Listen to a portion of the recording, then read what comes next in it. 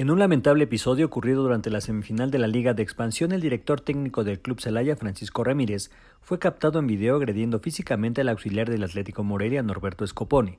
La tensión en la cancha llegó a su punto máximo tras la derrota de Celaya ante Morelia, desencadenando un altercado que ha generado gran consternación.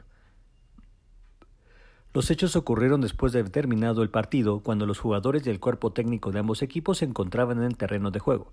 En las imágenes captadas se puede observar claramente cómo Paco Ramírez se acerca a Norberto Scoponi y le propina una bofetada, seguido de un intento de persecución.